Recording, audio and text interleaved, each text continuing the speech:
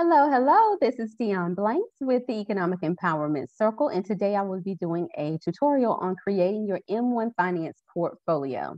Before I get started, I will start like I always do with a disclaimer. This is not investment advice. This content is for informational and educational purposes only.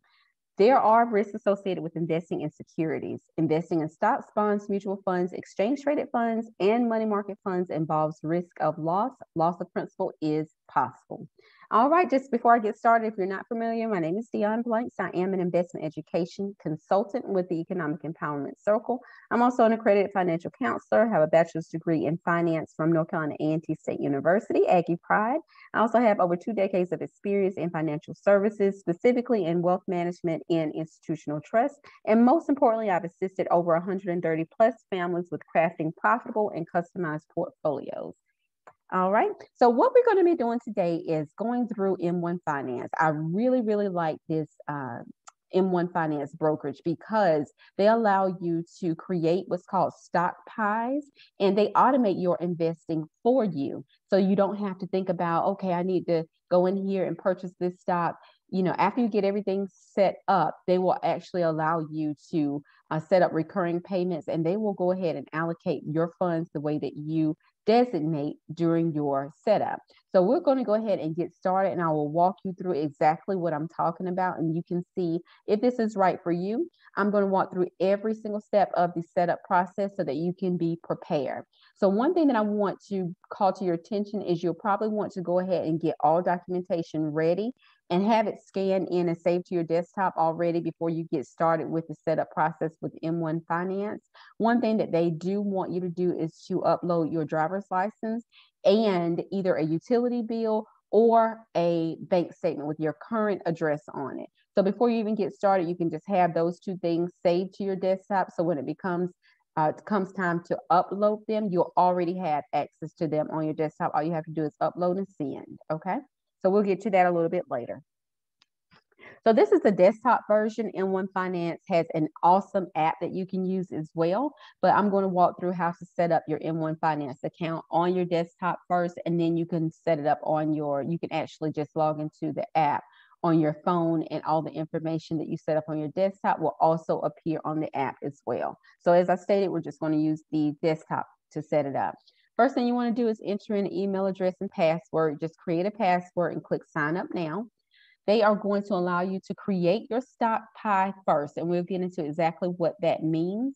But before you do that, go ahead and verify the email address that you have put in. They're going to send you a verification email. So you'll need to have this done before you're able to connect your bank account to M1 Finance. So you can go ahead and pause and go ahead and verify that email address um, before we go further or you know you'll see where we get stopped a little bit later on and you'll have to verify that email anyway. Okay so just go ahead and verify that email address that has been sent and received. So we're going to get into creating our pie but first we're going to go ahead and explain exactly what is a pie. So this is a pie. Pies are the building blocks to organize and manage your M1 portfolio it basically means the stocks and the ETFs that are going to make up your investment account. So if you choose Target, for example, you can have um, a retail stock pie. And it can include, for example, Walmart and Target and other retailers, Ross stores, or whatever you want to include in that retail pie. You can also have something like a restaurant pie, stock pie, where you have, say, Wendy's and McDonald's and you know other places like that that you want to include in your re- your restaurant stock pie. So it's just a way for you to organize your investments. For me, I like to have a dividend based stock pie and also a growth based stock pie. So in my dividend portfolio or stock pie, I will have companies obviously that pay dividends. In my growth portfolio, I may have companies like Facebook or Netflix that are great growth companies but don't necessarily pay any dividends at all. So, how you divide up your stock pies and your portfolios is up to you. So, you can have stock pies that serve different purposes. And that's what I love about M1 Finance. They allow you to create any number of stock pies and divide your um, your investments up into those stock pies so that you can kind of track the returns and what each of those stock pies are doing for you. Okay. So in this case, whenever we get started, the first thing they're going to allow you to do before you even open up an account is create your first stock pie so that you can see how easy it is. So as you can see, it's going to ask you to pick at least three investments that interest you.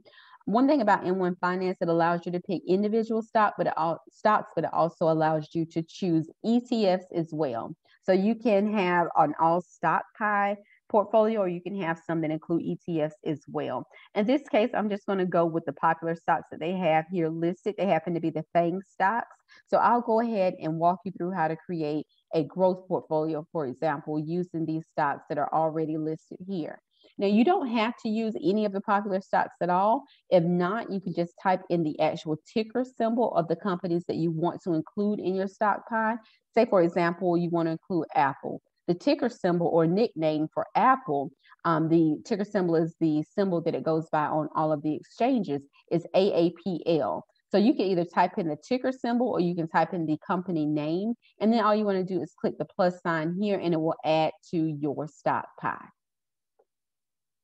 Now, after you have all of the stocks selected that you want, it has to be at least three. In this case, we have about six or seven that we have selected here. We want to click continue. And from there, you just want to verify that everything listed is how you want it. If you were to continue to scroll down, you would see that all seven of the companies that I chose are listed down there. So you just want to verify before you continue. After you verify, now all of these picks that you've chosen become slices of your pie. So whenever you do this, they are uh, the system is going to automatically weight equal uh, weight these uh, slices equally. So you can make changes to these. So for example, if we have seven companies, they're going to allocate 15, 14 to 15% to each of those. This is the way that they're automatically going to do it. They're going to try to equally weight each of these slices. So in other words, if we have a $100 deposit, this is telling us that 15 of those dollars is going to go to Apple, 15 to Microsoft, 14 to Facebook, and so on and so forth you do not have to stick with this clearly. So say, for example, for Apple, I want to invest a little bit heavier in Apple. I can change this to make this slice 32% and the other ones I can adjust accordingly. As long as they all add up to 100%, you can adjust these figures however you see fit so that you can make sure that your funds are being allocated the way that you want them allocated whenever you make your contributions to your M1 account. Now, after you've created your stock pod, the first thing they're going to show you is how much you would have gained had you done this five years ago. This is kind of, you know, nice to know. So in this case, if you would have, it says a $10,000 investment in this pie five years ago would have resulted in gains of $105,781. So this is great information to know because it, it kind of, you know, kicks you into gear to let you know that you know stop wasting time as far as creating your stock portfolio uh, and go ahead and start to invest and get in the game at least. At least you can see what you would have done what this portfolio these choices would have uh, gained you in the last five years had you started then. So go ahead and start now. Um, that's all that it's trying to show you there. So now M1 Finance, after you have your stock pie created, uh, it uses intelligent automation to make your investing life very, very easy. So we'll go through exactly how to set up your recurring contributions to M1 Finance, or you can do one time deposits. I personally love the fact that they allow you to set up recurring contributions. Whereas whenever you connect your bank account, they can go into your checking account and automatically make those withdrawals from your checking account, deposit it into your M1 brokerage account. And from that point, they take it from there. However, you said you wanted those funds allocated in that last slide. You know, that's exactly how they're going to allocate it on your behalf each time they receive a contribution via your recurring deposit. So it's really a sit it or set it and forget it type thing. Um, you don't have to go in and manually make purchases into your portfolio every single week or month or whatever frequency you choose. So it their automated system is, is very awesome. I really love the stock pies and the fact that uh, they allow you to create as many as you want and organize it however you feel best for you. And they also have the automation so that you're able to um, basically set up your connection with your bank and they're able to pull that money and allocate it as you designate. Okay. Now, one thing to note about setting up your stock pie, all we did was set up our pie. It is not a part of our portfolio yet. So you can set up as many stock pies as you wish. You don't even have to use all of them. You can just set them up and they will go into your unused portfolio or unused stock pie pile. And you can choose when or if you ever add them to your actual portfolio. So let me slow down there. Whenever you do not have a stock pie added to your portfolio, it's just sitting there, it's unused. In other words, whenever you make a contribution to your M1 brokerage account, whenever they go to allocate it, they're only going to allocate funds to stock pies that you've added to your portfolio. Otherwise, they will not allocate any funds to your portfolio. So, say if we stop right here, we've created a stock pie, but it's not a part of our portfolio. So, any contributions that we make to M1 Finance will sit there in cash until we actually add a stock pie to our portfolio to let the system know hey, now start using our stock pie and allocate it the way that we designate it for that specific stock pie. So it's very important to understand that your stock pie does not automatically become a part of your portfolio. So it will not automatically start receiving funds from your um, contributions. It won't be, you know, anything won't be allocated to that stock pie until you actually add it to your portfolio. And we'll walk through that in a second. Okay, so after you've created your stock pie, now it's time to open up your account. That's actually the second step, which is uh, very interesting. They allow you to create your stock pie before you even open up your account or give them the information to do so. So this is very basic information. They're going to text you a code and to verify your phone number. And after you have that code, you can go on and enter in your confirmation code and continue with the process. Here you want to enter in your full legal name and also confirm that this is your legal name. It is required for opening up your account um, with M1 Finance. Here's just basic profile information, your date of birth, your citizenship, as well as your employment status. And from here, they're going to go on to the know your customer rules. They're going to ask you a slew of questions about your investment history, your income, and that type of thing. So we'll walk through each one of those so you can be prepared for that as well.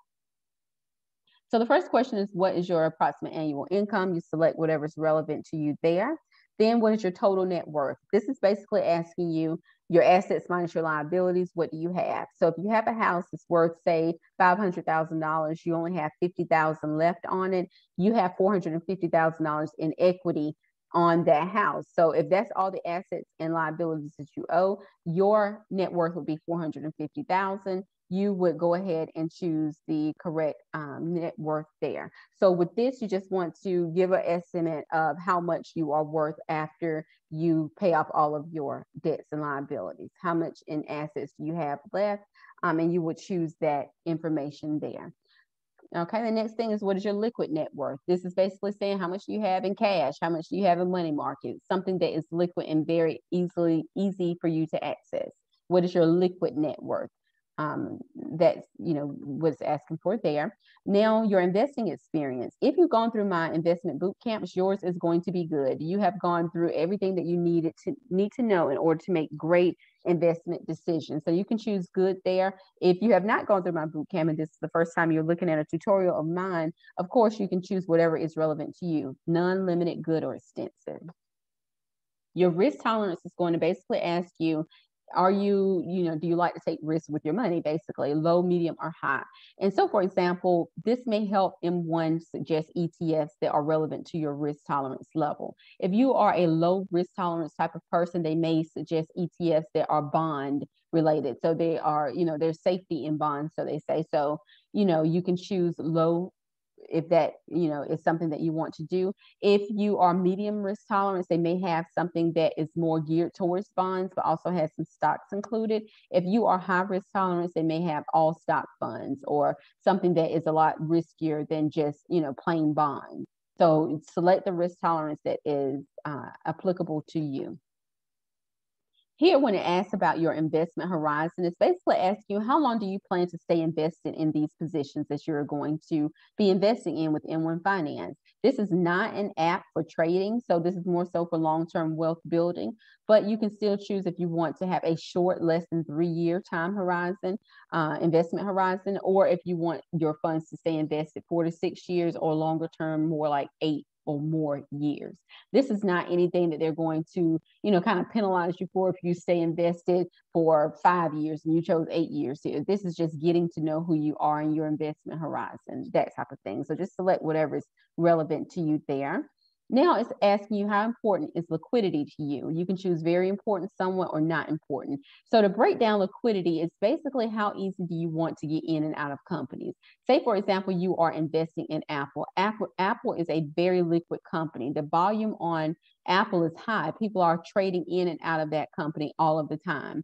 However, if you are choosing companies that are, say, penny stocks or something like that, they have very low volume a lot of times. So it's not going to be easy for you to get in and out of certain companies with low volume. So they're asking you how important is liquidity to you. Um, so it's, if it's important to you, which is important to me, I say very important. I want to be able to get in and out of companies the way that I, I would like to. So obviously, I'm going to choose companies that have you know, a higher trading volume. So I won't get stuck in any positions like that. Now, this is very easy. How did you hear about it? You can say friend, family, blog, news article, however you heard about M1 Finance, and you would select that there. Last thing they're going to want to know is your social security number. One thing to note is they say that they are not going to perform a credit check. So they're only using your social security to verify your identity. So make sure that your social security is correct when you enter it there, and then you can continue on. This question is very important. They need to uh, have some information as far as the people that this uh, this last thing applies to. So for most people, none of the following will apply. If it does, you have to disclose this information to M1 Finance. The first question is if you are affiliated with or work for a broker dealer. So say for example, you're trying to set up an M1 Finance account and you're actually a broker dealer with TD Ameritrade. You need to make sure that you click that box. If you are a 10% shareholder of a publicly traded company, you need to check that. Also, if you um, or an immediate family member is a current or former public official, make sure that you check that. So, most people, this will not apply, and you'll go ahead and click none of these apply. That is most common at the bottom. But any of those that are applicable to you, make sure that you click that and disclose that information to M1 Finance during this process. That's it. So you just want to make sure that everything looks okay and you want to make sure that you verify your profile and financial investment profile. If everything looks okay, just click confirm and they will um, move you on to the third step. So, so far we've created our stock pie, we've opened our account, and now we are going to go to the funding part here. So now for funding your account, all you wanna do is connect your bank account to M1 Finance. And to do that, you can connect instantly, which is my preferred method, or you can do it manually. Okay.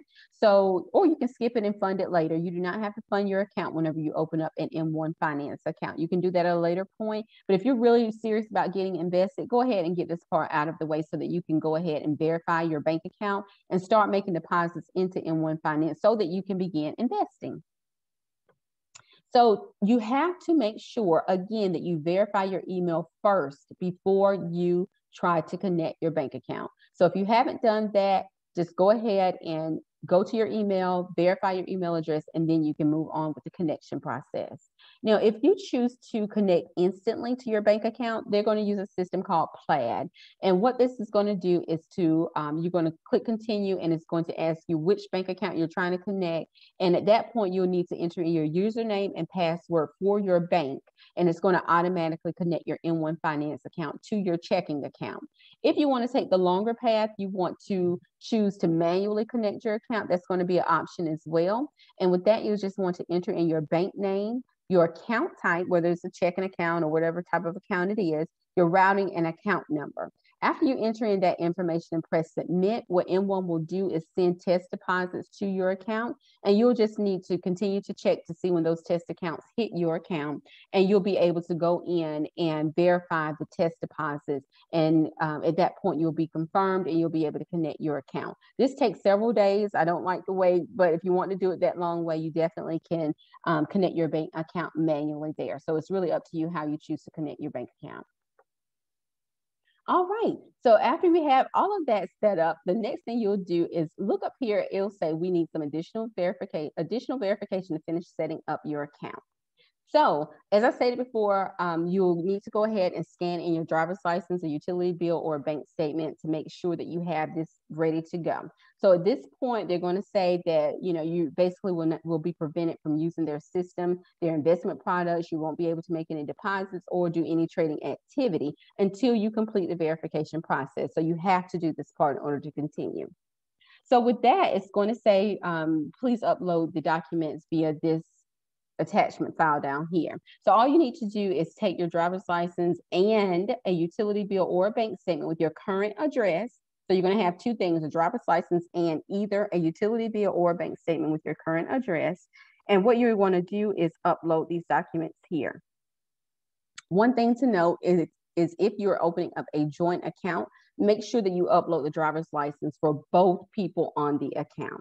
Um, and then you can continue from there. Just upload everything here and then you want to press continue. After that, they'll have all the information you need. You'll be taken back to this screen and you'll be able to add this stock pie to your portfolio, okay? So it's as simple as that. You create your stock pie, you open up your account, you fund your account, and now I'm going to walk you through um, how to verify your stock pie before you add it to your portfolio. So once you go back here, let me just go back real quick you'll be able to view details on your first stock pie. And what you want to do is just take a look and see if everything is the way that you want it to be before you start adding it to your portfolio. So here, whenever you click on that view details, you'll be brought to this page and you can see um, your allocations here. I've added AMD, that's one of my great companies that I like. Um, but so there are eight slices of your pie here. If it looks good to you, then you're good to go. You can click add to portfolio and it will be added to your portfolio. So any contributions you make, those slices of your pie will receive the designated allocation. All right, just to walk you through a little bit on this page here, Whenever you go to your M1 account on your portfolio tab, you'll see over here auto invest. I always have mine switched to on. This means that any contribution that I make to M1, they're going to automatically invest it for me. It's very hands off, set it and forget it. I love that. And also, it's going to ask you what minimum cash balance you want. I have zero because I want all of my money and my cash invested. But say if you always want to keep a cash balance on M1 for whatever reason, you would say what minimum cash balance you have there. Now, they will automatically automatically invest your um, balance or your deposits for you as long as it's over $25. So it takes $100 to set up a regular brokerage account, $500 to set up your um, retirement account. Say, for example, you want to set up an IRA account, you need at least $500 to do that with. But if it's just a regular brokerage account, you can start with $100. And whenever you make deposits, um, whenever that amount gets up to at least $25, they'll go ahead and automatically invest that for you. So I love that feature about M1 Finance. Now, here's the great part. So on your main page, you'll be able to click on transfers up here at the top. And from there, you'll be able to click on move money. And from here, you can set up your one-time transfer. Say, for example, today, if you want to start with $100, you can go ahead and transfer $100 into that account, your M1 account. Or if you want to go ahead and set up recurring transfers, say if you want to do $100 a month or $25 a week, whatever you have, you can go ahead and set up a recurring transfer there. And it will go ahead and transfer that money from your checking account that you connected to your M1 account and automatically invest it the way that you designated on your stock pie. So that is why I love M1 Finance. You can choose, you know, the frequency and the day of the month. If you want to do it monthly, you can do it weekly, however you want to do it. It makes it very, very easy for you to do so. So I hope this tutorial has been helpful. I will be doing a second tutorial on how to buy individual slices of your pie and a couple other neat things that I like about M1 Finance. But for now, that is it. Thank you so much for watching and I hope it has been helpful. I will see you in the next tutorial.